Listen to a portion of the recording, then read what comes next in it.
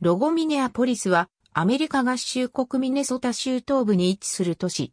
ヘネピン郡の郡庁所在地であり、州最大にしてアメリカ中西部を代表する世界都市。人口は2010年の国勢調査では38万2578人、2015年の推計では41万939人。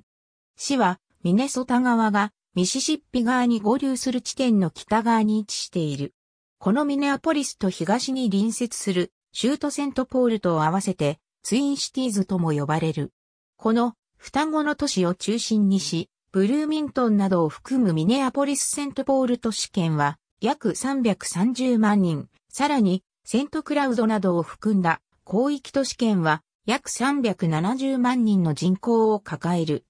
ミネアポリスの氏名はダコタ族の言葉で水を意味するマニーとギリシア語で都市を意味するポリスとを組み合わせて付けられた。その名が示す通り市には水が豊富で、市域内に20の湖を持ち、ミシシッピ川や多数の川が流れ、滝が形成されている。これらの水辺の多くは遊歩道で結ばれている。かつては世界の小麦製粉の中心地であり、また製材の中心地であった。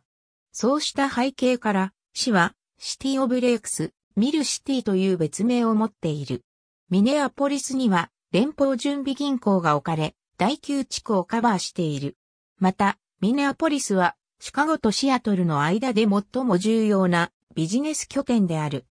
ダウンタウンには大規模小売店チェーンのターゲットが、郊外には穀物メジャーのカーギルや大手電気小売のベストバイが本社を置いている。旧ノースウエスト航空のハブ空港であるミネアポリスセントポール国際空港を玄関口に持ち、全米のみならず日本を含む世界各地からの直行便が発着する国際的な交通の要衝でもある。また、ミネアポリスは音楽シーンにもその名を残した。1970年代から1980年代にかけてプリンスをはじめとする地元出身のミュージシャンはミネアポリスサウンドと呼ばれる音楽を確立させ、世界に広めた。1680年頃にヘネピン・シンプラを連れたフランス人の入植者がやってくるまで、この地にはネイティブアメリカンの数族の一派、ダコタ族のみが住み着いていた。1819年、現在ミネアポリスセントポール国際空港がある場所の近くにスネリング砦が建てられるとこの地域の発展が始まった。ダコタ族からの土地の購入が進み、この地に到着する入植者たちが住み着きやすくなっていった。1856年、ミネソタ準州の法律により、ミシシッピ川西岸に形成されていたミネアポリスは正式な町になった。1867年にはミネアポリスは市に昇格した。この年、ミネアポリスとシカゴを結ぶ鉄道が開通した。その5年後の1872年には、ミシシッピ川東岸の町セントアンソニーがミネアポリスと合併した。ミネアポリスは、ミシシッピ川唯一の滝であるセントアンソニー滝の周囲に発展した。もともと水力は、紀元前1世紀から粉引きに使われていたが、とりわけ1880年から1930年にかけてのミネアポリスは、市がザグレイテストダイレクトドライブウォーターパワーセンターザワールドハズエバーシーンと呼ばれうるほどの特筆すべきものであった。また初期においては、ミネソタ州北部の森林地帯から材木を得て、滝の水力を利用した製材所で加工したことにより、製材業が発展した。1871年頃、ミシシッピ川の西岸には、製粉、綿織物、毛織物、製鉄、鉄道機械、製紙、型体、木材加工といった様々な産業が起こり、23の企業が立地した。グレートプレーンズの農家が生産した穀物は、鉄道でミネアポリスに運ばれ、市内34カ所の製粉所で加工された。1905年頃、ミネアポリスにおける小麦粉の生産量は全米の10%に達していた。前世紀においては、市内の製粉所の一つ、ウォッシュバーン製粉所は1日に食パン1200万斤分の小麦粉を生産することができた。セントアンソニー滝周辺、1915年。ミネアポリスにおける差別撤廃は1886年に始まっていた。この年、マーサ・リプリーは結婚している母親と未婚の母親の両方を収容する産科病院を設立した。世界恐慌で国の運命が一転した後、1934年にはその年に起こったトラック運転手のゼネストを受けて、労働者の権利を認める法律が成立した。生涯にわたり、公民権運動を支えてきた当時の市長で、後に副大統領となったヒューバート・ H・ ハンフリーは、1946年に市の雇用機会均等条例の制定、及びマイノリティの側に立って、仲裁にあたる人間関係委員会の設立に助力した。ミネアポリスは、早くから白人優位主義を廃止、差別撤廃運動や公民権運動に参加し、1968年にアメリカン・インディアン・ムーブメントを生んだ地ともなった。1950年代から1960年代にかけては都市再開発の一環としてダウンタウンの約4割25ブロックにわたる200棟の建物を取り壊した。ゲートウェイ地区も取り壊された。その時に取り壊された建物の中にはメトロポリタンビルディングなどの有名なものも多数あった。建物を守る策は失敗に終わったが、これを機に歴史的建造物保護への機運が高まった。ミネアポリスの歴史や経済成長とは切っても切り離せない故障や小川、滝など水の多い地形は最終表記に形成された。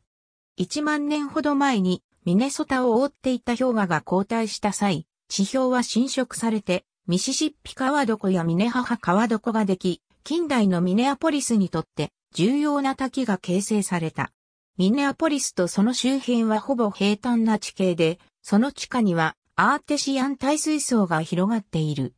ミネアポリスは北緯44度58分48秒整形93度15分51秒に一致している。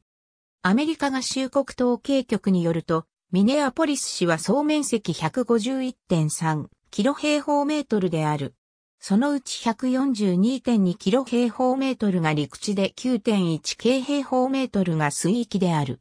総面積の6.01%が水域となっている。水域の内ミシシッピ川と3本の小川の水は、ミネアポリスの水道水源。また、市内には12の湖、3つの大きな沼、及び5カ所の湿地がある。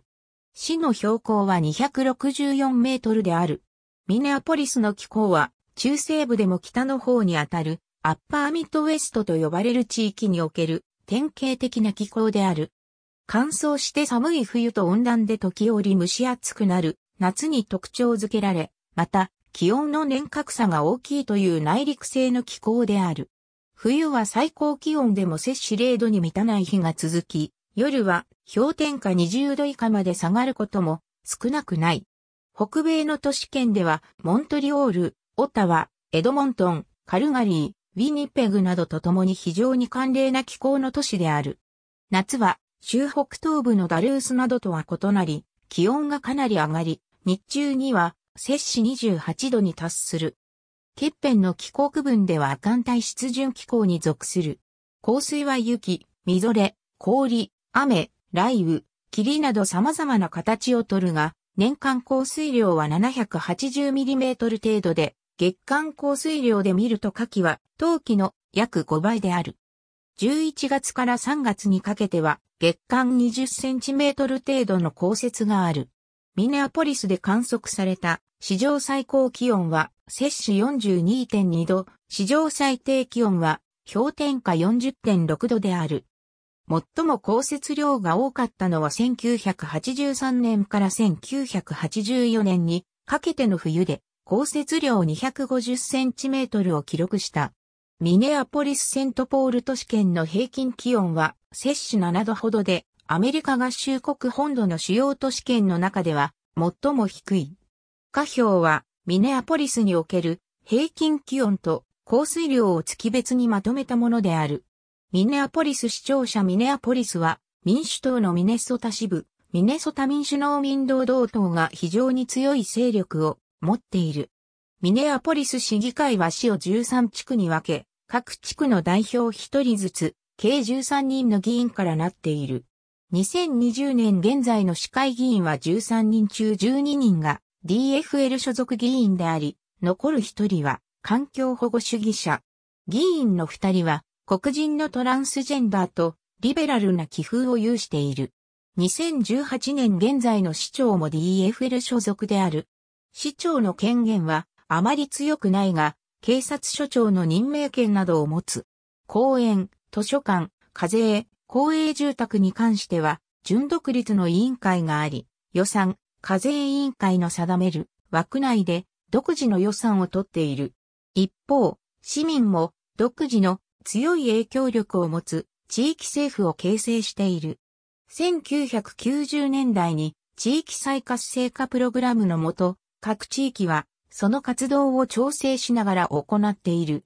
ミネアポリスは一つ以上の地域からなるコミュニティに分かれている。いくつかのエリアはビジネス協会というニックネームで知られている。環境の健全性及び人間に与える影響の研究をもとにして、アースデーの主催者たちが作成した都市環境レポートの2007年版では、ミネアポリスは全体で第9位、中規模の都市の中では第2位にランクされた。初期のミネアポリス市政府は腐敗した時期があり、1900年代中盤まで犯罪が多発していた。1950年以降、市の人口は減少し続け、ダウンタウンの大部分は都市再開発や高速道路建設のために失われた。その結果、人口減少が続いていた1990年代までのミネアポリスは瀕死で平和な環境にあった。1990年代に入り、経済が回復してくると、人口の回復に伴って、殺人件数も増えた。ミネアポリス市警察は、ニューヨーク市で実績を上げていた、コンピュータシステムを導入し、犯罪率の高い地域に警官を派遣するようにした。結果、人種プロファイリングに当たるという批判を受けながらも、凶悪犯罪の発生率を低下させることに成功した。モーガンクイット納社の調査では、1994年の第1回調査で、全米の危険な都市ワースト18位にランクされ、以後2001年まで、毎年ワースト25県内に入っていたが、2002年以降は入っていない。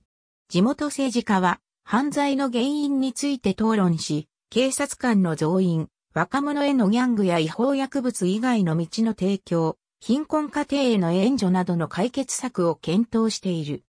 2007年、市は公共安全インフラへの投資を行い、警察官を40人新規採用し、新しい警察署長を迎えた。ターゲット本店。同社は47州に約1500店舗を置き、約35万人の従業員を抱えている。今日のミネアポリスの主産業は主に商業、金融、運輸、保険、製造業である。これらに加え、伝統の製粉をはじめ、出版、食品加工、グラフィックアーツ、保険、さらにはハイテク産業も市の経済を支えている。市の製造業は主に金属、自動車部品、化学農業製品、電気、コンピュータ、精密医療機器、プラスチック、機械を生産している。ミネアポリスの市域内には、フォーチュン500に入る企業5社が本社を置いている。その5社とは、大手ディスカウント小売店チェーンのターゲット、金融持ち株会社の US バンコープ、電気、ガス会社のエクセルエナジー、財務サービスのアメリプライズファイナンシャル、生命保険、個人年金、投資信託のスライベントファイナンシャルである。ミネアポリスに本社を置くフォーチュン1000に入る企業には、ペプシアメリカズ、バルスパー、ドナルドソンなどがある。政府部門以外では、ミネアポリスの主な雇用主としては、ターゲット、ウェルズファーゴ、アメリプライズ、マーシャルフィールズ、スタートリビューン、US バンコープ、エクセルエナジー、IBM、パイパージャフレー、カナダ王立銀行、ING グループ、クエストが挙げられる。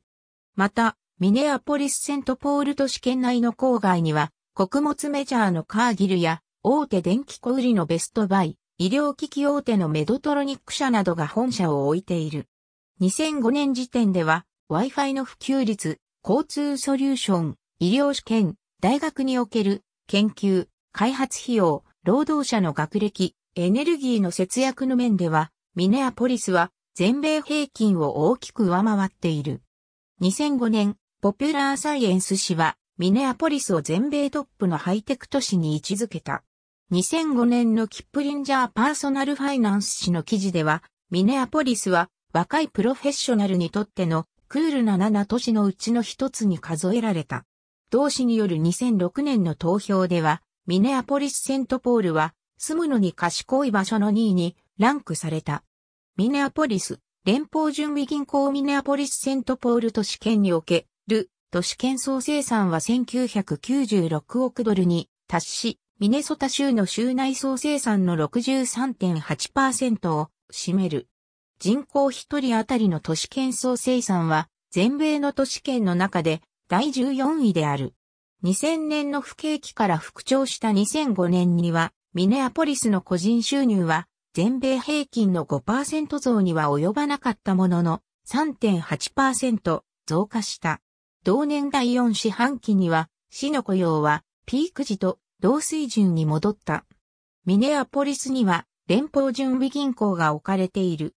ミネアポリス連邦準備銀行はモンタナ州の州都ヘレナに支店を置いている。ミネアポリス連邦準備銀行はミネソタ州を中心にモンタナ、ノースダコタ、サウスダコタ各州の全域及びウィスコンシン州北部、ミシガン州アッパー半島にわたる第9地区をカバーしている。この第9地区は範囲は広いが人口が希薄であるため、ミネアポリス連邦準備銀行は全米20にある連邦準備銀行の中で最小である。連邦準備銀行は加入している銀行や銀行持ち株会社を監督し、また、米ドル紙幣を発行する役割を果たしている。ミネアポリス連邦準備銀行で発行された米ドル紙幣には、旧札であれば、肖像の左側に I と、新札であれば、左上の発見番号のすぐ下に IQ と印刷されている。これはミネアポリス連邦準備銀行がカバーする第9地区を表している。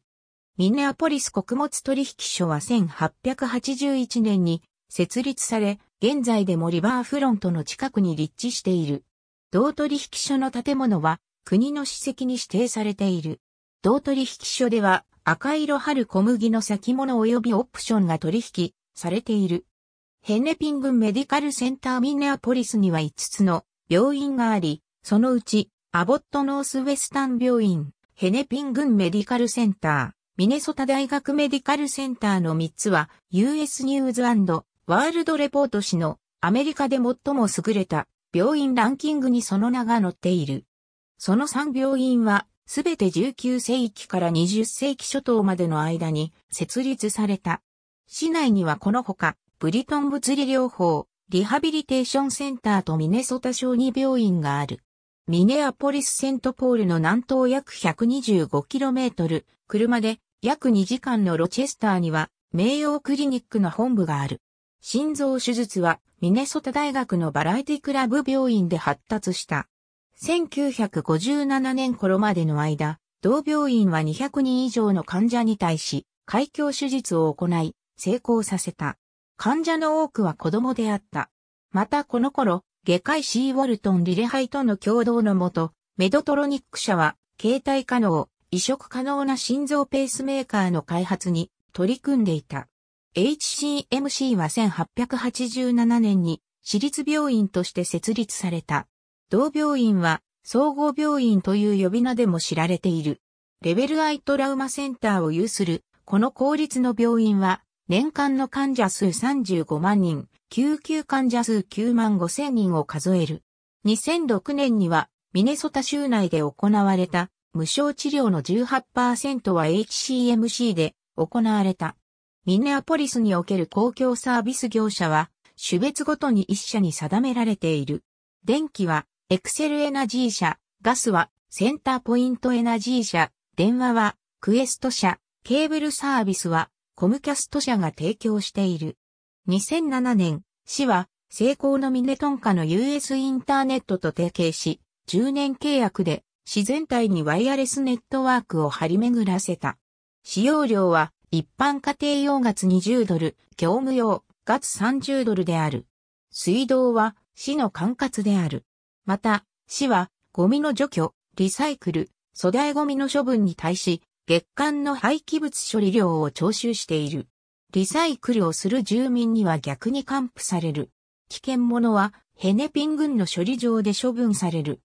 スノーエマージェンシーが発令されるほどの大雪が降った時にはミネアポリス公共事業局が派遣する除雪車が市内の通りの除雪作業を行う。除雪車が作業を行う通りの総延長は約 1600km、路地の総延長は約 640km に及ぶ。両車線を合算すると、その距離はミネアポリスシアトル間往復にほぼ相当する。円滑な除雪作業のため、作業中のみならず、緊急事態発令中にも、市の条例により除雪作業の行われる通りでの駐車が規制される。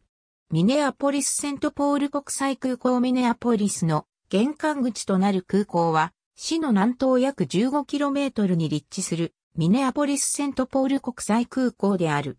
同空港はデルタ航空のハブ空港の一つで、全米各地のみならず、オランダのアムステルダムスキポール空港など世界各地の主要空港からも直行便がある。年間利用客数は3500万人を超え、全米第12位である。ミネアポリス・セントポール都市圏では2本の週間高速道路 I-35 と I-94 が交わる。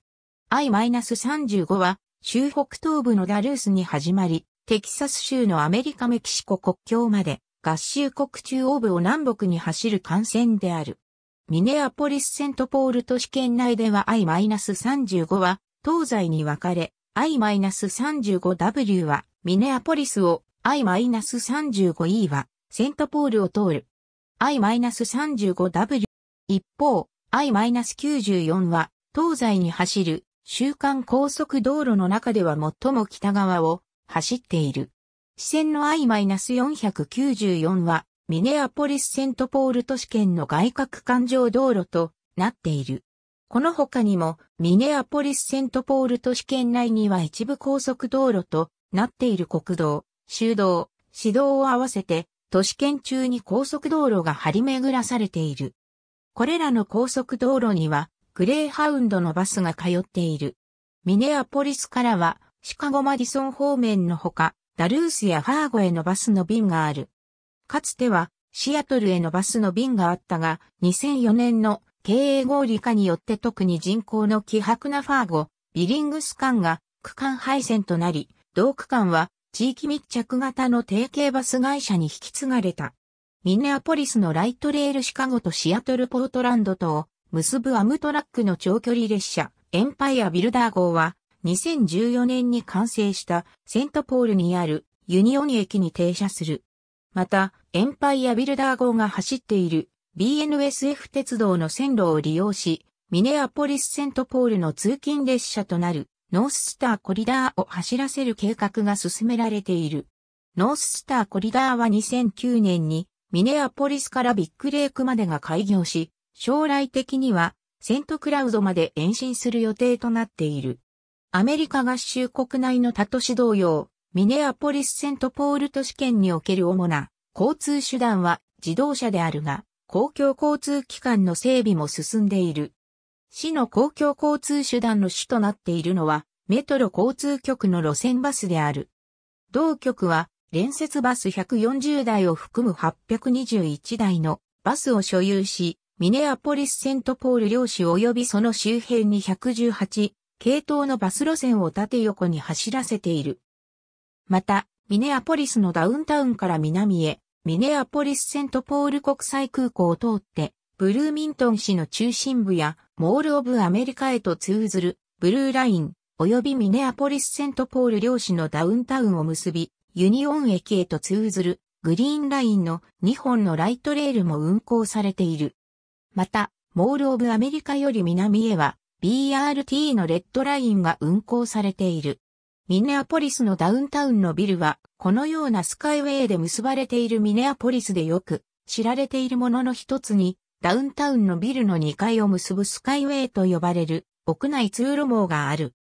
屋内通路そのものは全米のみならず世界各地にあり、特に珍しいものではないが、ミネアポリスのスカイウェイはダウンタウンの80ブロックにわたり、総延長は 11km に及ぶ大規模なものである。スカイウェイは平日のみ通行することができる。スカイウェイによってミネソタの厳しい冬の寒さや雪を気にすることなく、ダウンタウンのビル間を行き来できるだけでなく、1階の車道を通る車と2階のスカイウェイを通る人との通行路の分離もなされている。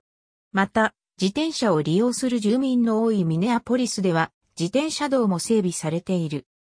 自転車道の利用者数は1日平均1万人に上る。公共事業局は、グランドラウンズシーニックバイウェイという、総延長 90km に及ぶ歩行者、自転車用のコミュータートレイル網を作り上げた。このグランドラウンズシーニックバイウェイの大部分は、もともとは1930年代に、当時の大統領、フランクリン・ルーズベルトによるニューディール政策の一環として設けられた市民保全部隊によって作られた道である。ストーンアーチブリッジのように、元は鉄道橋だったものを転用して歩行者、自転車用の橋にしているものもある。グランドラウンズシーニックバイウェイに含まれるコミュータートレイルには次のようなものが含まれる。ミッドタウングリーンウェイ。ミネアポリス市内にはこのような自転車道が張り巡らされている。また、これらのコミュータートレイルとは別に、ミネアポリス市内の既存の車道の一部には自転車用の車線が設けられており、その総延長は 54km に及ぶ。市では路線バスやライトレールに自転車を止めるためのラックを設けたり、オンラインで自転車同地図を提供したりと、自転車の利用を促している。2007年、ホーブス氏は市の自転車道と公共交通機関を高く評価し、ミネアポリスを同市の世界で最もクリーンの街の第5位にランクした。ミネソタ大学ミネソタ州を代表する州立大学であるミネソタ大学はミネアポリスセントポールにメインキャンパスを置いている。同学は5万人以上の学生を抱え、アリゾナ州立大学、オハイオ州立大学、テキサス大学、フロリダ大学と並ぶ大規模校の一つに数えられている。1851年にプレップスクールとして創立された同学は20の学部、140以上の研究施設を持ち、科学工学で全米1位の評価を受けているほか、地理学、心理学、機械工学、経済学の分野で評価が高い。ミネソタ大学の他には、ルーテル教会系のリベラルアーツカレッジである、オーグスバーグ大学、アッセンブリーズ・オブ・ゴッド教団系のノースセントラル大学、セントポールに本部キャンパスを置くカトリック系中規模私立大学のセントトーマス大学がミネアポリスにキャンパスを構えている。ミネソタ州立大学システムの一部をなす、メトロポリタン州立大学は、セントポールに本部を置き、ミネアポリスにもキャンパスを有する。メトロポリタン州立大学とプログラム及びキャンパスを共有し、メトロポリタン州立大学同様ミネソタ州立大学システムの一部をなすコミュニティカレッジ、ミネアポリスコミュニティテクニカルカレッジと2年制私立のダンウッディ技術カレッジは高校を卒業した者への職業教育を主としている。ミネソタ国際芸術学校、ミネアポリス芸術デザイン学校、通信制大学のカッペラ大学とウォルデン大学、ミネソタ職業心理学学校はミネアポリスに本部を置いている。ミネアポリス日本語補習授業校は幼稚部から高等部までの教育を行っている生徒数150名、家族数百家族の北米中西部で比較的規模の大きい学校である。駐在家族も多く通っており、帰国の際に日本の学校にすぐに戻れるよう、文部科学省の教育方針にのっとった教育が行われている。小学部高学年、中学部、高等学部の生徒からなる生徒会もあり、活動が盛んに行われている。授業の他に5月に運動会、7月にスイカ割り、12月には習字、1月には新年会などの行事も取り入れ、児童、生徒に日本の文化に触れる機会を設けている。創立理念、子供たちの勉学の場と良きコミュニティを築くことを目指して、みんなが運営に参加する手作りの日本語補習校を作りましょうに基づき、在籍家族全員参加で学校を運営している。ミネソタ日本語補習授業校は、ミネアポリスセントポール国際空港に近い南港のリッチフィールドにあるホープ協会で授業を行っている。同校は教育目標として国際社会で活躍できる日本人を育てる学年に応じた日本語能力を身につけるの2点を掲げ、普段は英語で授業を行っている現地校に通う日本人の児童、生徒に対し週1回、日本語での教育の機会を与えている。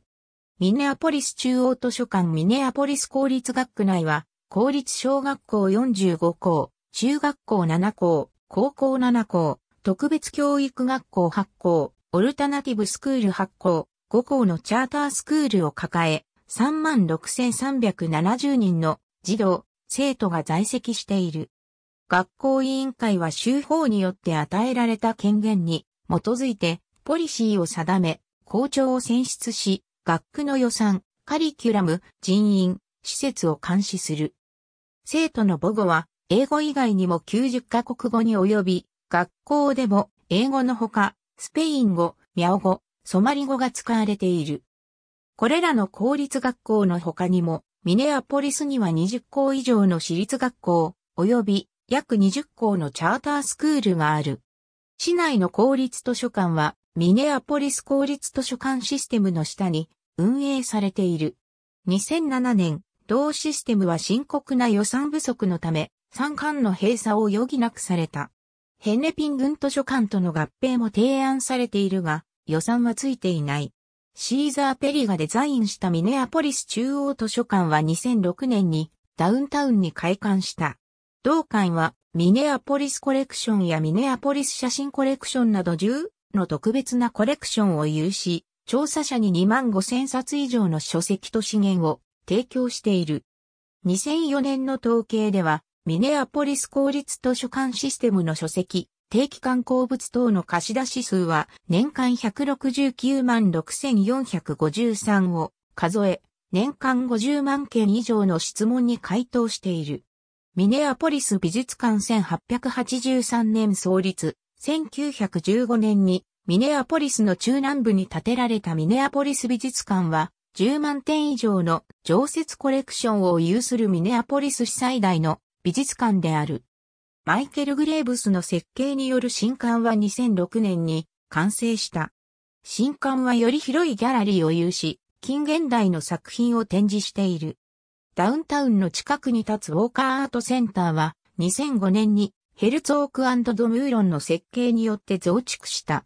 なおも増築は進んでおり、最終的には通りの反対側にあるミシェル・デビーニュ設計のミネアポリス彫刻園を含め6万平方メートルまで広がる。同センターは主に現代芸術作品を展示している。ミネソタ大学のワイズマン美術館は1934年に同学の芸術学部が教育目的で設立した。現在の本館はフランク・ゲイリーによる設計で1993年に開館した。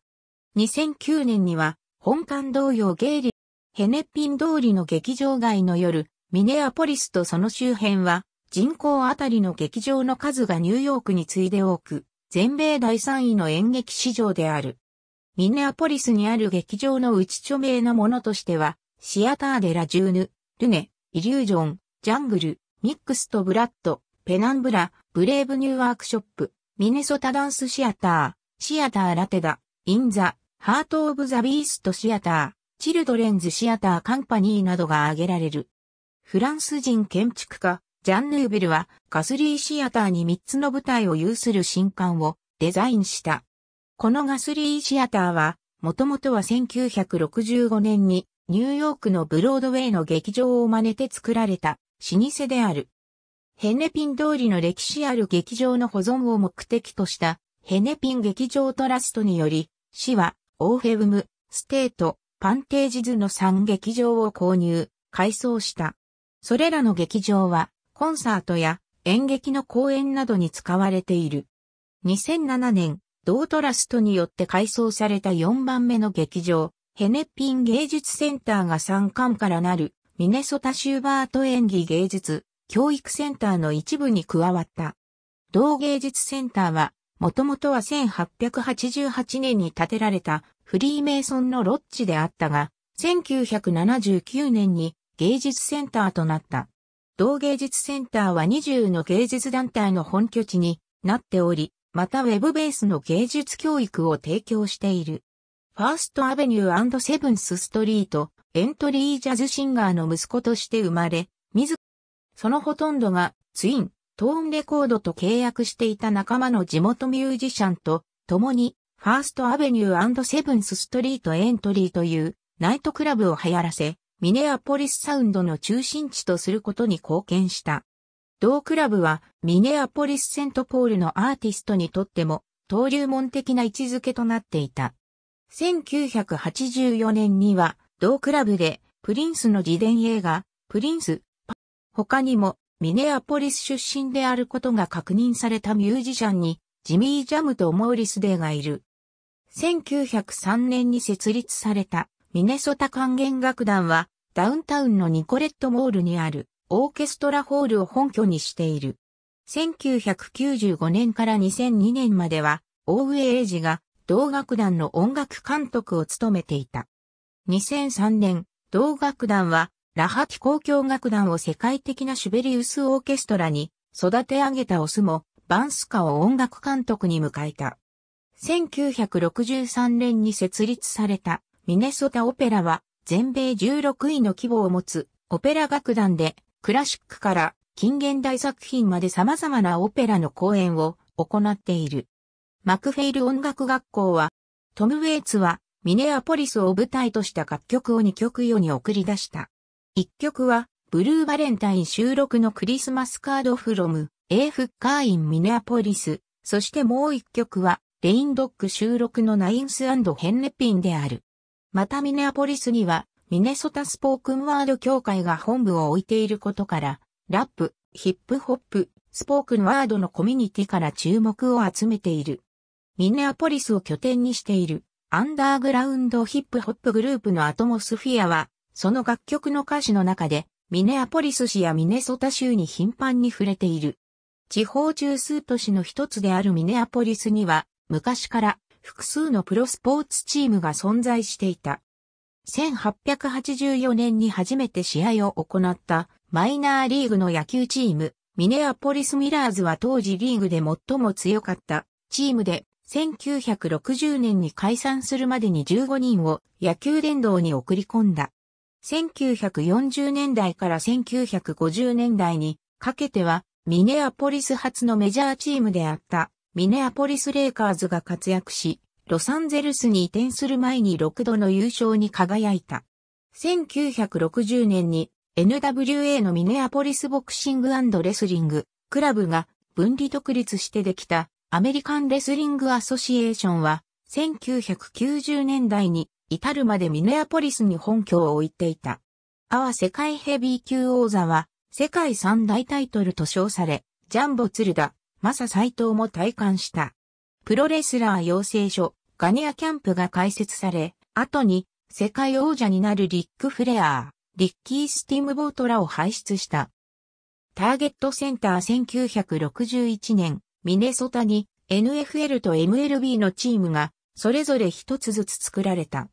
NFL のミネソタバイキングスは、リーグのチーム増設によって作られたチームであった。一方、MLB のミネソタツインズは、ワシントン DC に本拠を置いていたセネターズがミネソタに一転し、それに伴ってチーム名もツインズと解消されたものであった。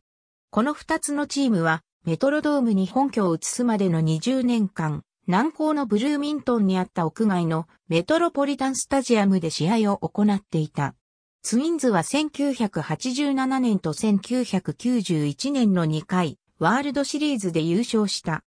1989年には NBA のミネソタティンバーウルブズができ、レイカーズ移転から29年ぶりにバスケットボールチームがミネアポリスに戻ってきた。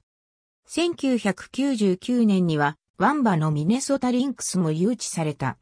これら男女バスケットボールチームは、共に1990年に完成したターゲットセンターを本拠地としている。NHL のミネソタワイルドはセントポールに本拠地を置いている。メトロドーム1982年に完成したメトロドームはミネソタ州最大のスポーツスタジアムであった。バイキングス、ツインズ、及びミネソタ大学ゴールデンゴファーズのフットボールチームはこのメトロドームを本拠地としていた。また、メトロドームは全米で唯一 MLB オールスターゲーム、スーパーボール、ワールドシリーズ、NCAA ファイナル4のすべてを開催したスタジアムである。メトロドームではスポーツの他コンサート、コミュニティ活動、宗教活動、トレードショーなど各種のイベントが取り行われ、年間の稼働日は300日を超えていた。2013年に閉鎖され、2016年に US バンクスタジアムとしてオープンした。1920年代からミネアポリス市内の学校、特にセントラル高校でラサール高校、マーシャル高校の3校は優秀なアマチュアスポーツ選手が輩出してきた。1930年代から現在に至るまでの間、ミネソタ大学ゴールデンゴファーズはフットボール、野球、ホッケーの3種目で全米王座に輝いた。ツインシティズマラソンミネアポリスではこれらプロスポーツやカレッジスポーツのほか、市民スポーツも盛んに行われている。ランナーズワールド氏はミネアポリスをランナーにとって良い都市の全米6位に位置づけている。毎年10月、ミネアポリス・セントポール間を走るツインシティズマラソンは、およそ25万人の観客を集める。US バンクスタジアムをスタートして、ミネアポリス市内の湖岸やミシシッピ河岸を通り、ミネソタ州会議児童へと至る 42.195km のフルマラソンは、ボストンマラソンやオリンピックの選考会を兼ねている。同大会では、フルマラソンのほか、10マイルや1マイルの短縮レース、及び家族向けイベントとしての 5km ラン、ウォークや子供マラソンも行われる。レクリエーションとしてのスポーツも盛んである。ミネアポリスは全米の主要都市の中で最も人口あたりのゴルファーの数が多い。市内には5つのゴルフコースがあり、さらに近郊にも全米で名を知られるヘーゼルタインナショナルゴルフクラブをはじめ、ベアパスカントリークラブ、バンカーヒルズゴルフコースがある。ミネソタ州は自転車、スポーツフィッシング、スキーをする人の州の人口あたりの割また、ヘネピン郡は、ミネソタ州の郡の中で、最も人口あたりの馬の頭数が多い。ミネアポリス在住中、スコット・ブレナンのオルソン兄弟は、ローラーブレード社を設立し、ローラーブレードの商標で、インラインスケートを製造、販売し、スポーツとしてのインラインスケートを流行らせた。ダウンタウンに隣接するミネアポリス最大の公園ローリングパークミネアポリスの公園システムは、設計、財源、維持のすべてにおいて全米で最良であると言われてきた。19世紀終盤、コミュニティのリーダーによる先見の明と寄付と努力が実り、ホーレス・クリーブランドの設計による数々のランドスケープアーキテクチャ作品がこの地に公園として残った。これらの公園は装飾された通りや公園道路で繋がれた。また、クリーブランドはこれらの公園の後、ミネソタ大学キャンパスのランドスケープも設計した。チェーンオブレイクス地区の湖は自転車道、遊歩道で結ばれ、釣り、ピクニック、ボート、夏季の湖水浴、冬季のアイススケートに使われている。自動車用の公園道路、自転車道、遊歩道はそれぞれグランドラウンズシーニックバイウェイに沿って並行して走っている。セオドアワースは多くの子供たちの住むところの近くに児童遊園を設置したり、市内に木の天外を作ったり、各家屋の6ブロック以内に公園を置いたりといったミネアポリスの公園システムの基礎を作り上げた。今日では市の面積の15%を公園が占め、市民一人当たりの公園面積は71平方メートルに上る。ミネ母の滝公園間は多くの箇所で繋がっている。ミシシッピナショナルリバーレクリエーショナルエリアでは、地域の公園とビジターセンターがつながっている。全米最古の高建ての花園であるエロイーズ・バトラーワイルドフラワーガーデンバードサンクチュアリは、セオドアワースパークの近くに位置している。セオドアワースパークは、ミネアポリスと東に隣接するゴールデンバレー市にまたがっており、その広さは約2.3キロ平方メートル、ニューヨークのセントラルパークの6割ほどである。落差16メートルのミネハハの滝を中心としたミネハハパークはミネアポリスで最古、かつ最も人気の高い公園の一つで年間約50万人が訪れる。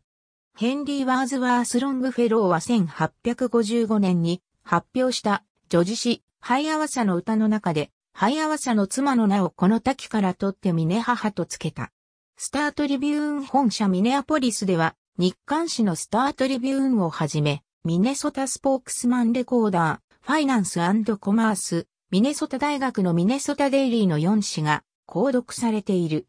2007年、ミネアポリス5番目の新聞となる、ウェブベースの新聞、ミンポスト .com が開設された。他には、週刊のシティページズ紙、ミネアポリスセントポール紙、ミネソタマンスリー紙、月刊誌ザレーク、各月誌、ウネマガジンが刊行されている。ミネアポリスは印刷、出版の中心地でもあり、芸術家がロフト芸術センターやミネアポリス書籍芸術センターを設立した。ミネアポリスセントポールには AM16 局、FM21 局のラジオ局がある。それらのラジオ局は公営ラジオのほか、クリアチャンネルコミュニケーションズ社が運営する7局を、はじめとする民間のラジオ局、テレビ局のラジオ部門、さらには、ミネソタ大学やミネアポリス公立学区のラジオ、宗教団体のラジオと多岐にわたっている。CBS のミネアポリス支局、ワコ TV のパラボラアンテナミネアポリス発のテレビ放送は ABC 系列のセントポール支局 KSTP-TV でなされた。初のカラー放送は、ミネアポリスのダウンタウンに坪根多く、CBS 系列のワコ TV で行われた。これらのほか、ミネアポリスには FOX、NBC、PBS、マイネットワーク TV、CW ネットワークの支局、及び独立系のテレビ局一局がある。また、いくつかのテレビ番組にも、ミネアポリスの名が登場してきている。ビバリーヒルズ高校白書のブランドン・ブレンダの双子の兄弟はミネアポリス出身という設定になっている。2006年には第6回目となるアメリカンアイドルのオーディションがミネアポリスで行われた。2007年にはラストコミックスタンディングの第5回目のオーディションが行われた。1970年代コメディ TV シリーズのメアリー・タイラー・ムーア賞がミネアポリスの架空のテレビ局を舞台としたことを記念し、ダウンタウンのニコレットモールには、メアリー・タイラー・ムーアの像が立っている。このコメディは7年間にわたって放送され、ゴールデングローブ賞延べ3部門、エミー賞延べ31部門を受賞した。バシリカ・オブ、セントメアリー古くから土着の信仰を持ち、グレート・スピリットを信仰していたダコタ族は、すべてのヨーロッパ人入植者が信仰心が深いわけではないということに驚いた。入植して以後、ミネアポリスには50を超える宗教、宗派が確立され、有名な教会もいくつか建てられた。ニューイングランドから移住してきた者の多くは、プロテスタント、クエーカー教徒、または万人救済主義者であった。ミネアポリス最初の教会は1856年に万人救済主義者がニコレットアイランド、イーストバンク地区に建て、その後間もなく、フランス系のカトリック教会となったアワレディオブローデスカトリック教会であった。1902年には、ミネアポリス発のシナゴーグが、イーストアイル地区に建てられた。このシナゴーグは1920年頃からイスラエル寺院として知られている。セントメアリーズ正教会大聖堂は1887年にロシア正教会によって建てられ、1897年に、不設の教会学校を、1905年に、全米発のロシア正教会系学校を設立した。ローリングパークの近くに立つ、全米発のバシリカである、バシリカオブ、セントメアリーは、ローマ教皇ピウス11世からその名を取っている。同教会は1907年に建てられ、1975年に国の史跡に指定された。ビリー・グラハム福音主義協会、同協会の観光するディシジョン氏、同協会参加の映画配給会社ワールド、ワイドピクチャーズ社は、いずれも1940年代からミネアポリスに本拠を置いている。ノースセントラル大学で出会ったアッセンブリーズ・オブ・ゴッドの牧師ジム・バッカーとキリスト教、歌手タミー・フェイの二人は1980年代に宗教系のテレビ局を始め、1350万世帯の視聴者を得た。今日ではミネアポリスの南西にあるマウント・オリベット、ルーテル教会は6000人のアクティブな教会員を有する世界最大のルーテル教会となっている。シ南島のロングフェロー地区に1948年に建てられたルーテル教会の建物はエリエル・サーリネンの作品の中でも最も優れたものの一つに数えられている。この教会には、後にエリエルの息子であるエーロ・サーリネンの設計による教会学校の建物が増築された。人類愛と社会奉仕はミネアポリスというコミュニティの特徴の一つである。ミネアポリス・セントポール都市圏に住む成人の40%は何らかのボランティア活動に従事している。ニューオーリンズに本拠を置く全米最大の社会奉仕団体カトリックチャリティー。ミネアポリスに本部を置くアメリカ難民委員会はこれまでアフリカ、バルカン半島、アジアの10カ国から100万人以上の難民を逃がしてきた。ミネソタ州最古の財団法人であるミネアポリス財団は900種を超えるチャリティファンドに投資してその管理を行い NPO と寄付者とを結びつけている。また、ミネアポリスセントポール都市圏は集められた寄付金の13%を芸術、文化分野に用いている。10億ドルを超えると推計される近年の芸術施設の拡張費用のほとんどは私的な寄付によって賄われている。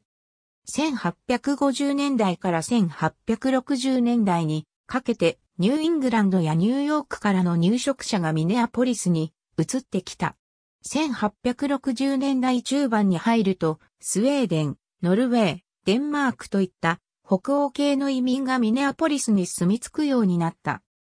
やがて、ドイツ系、イタリア系、ギリシア系、ポーランド系の移民が続いた。ユダヤ人やロシア系移民は最初は市の北側に住み着き、1950年代から1960年代にかけて成功に移り住んでいった。アジア人は主に東アジアの中華人民共和国、フィリピン、日本、韓国から移住してきた。1940年代には日系人が、1950年代にはネイティブアメリカンが連邦政府の政策でこの地に移住させられてきた。1970年代以降は、ベトナム、ラオス、カンボジア、タイといった東南アジア諸国からも移民が来るようになった。これに加え、1990年代以降は、ラテン系の住民やアフリカ、特にソマリアからの難民がミネアポリスに移入してきた。21世紀に入っても、ミネアポリスは新たに移入してくる移民の主要な受け入れ先となっている。1990年から2000年にかけての10年間でアメリカ合衆国外の生まれの住民は127%増加した。市の人口は1950年に52万1718人でピークに達したが、その後は郊外への人口流出によって1990年まで減り続け、ピーク時に比べ約40%減少している。一方、ミネアポリス・セントポール都市圏の人口は市の人口がピークであった1950年に比べ2倍に増加しており、360万人に達している。アフリカ系やアジア系、ヒスパニック系の住民が増え、現在では白人以外の住民が総人口の約1、5を占めている。2006年時点では全米平均と比べるとミネアポリスの失業率は低く、4年生大学卒以上の学歴を有する住民の割合が高い。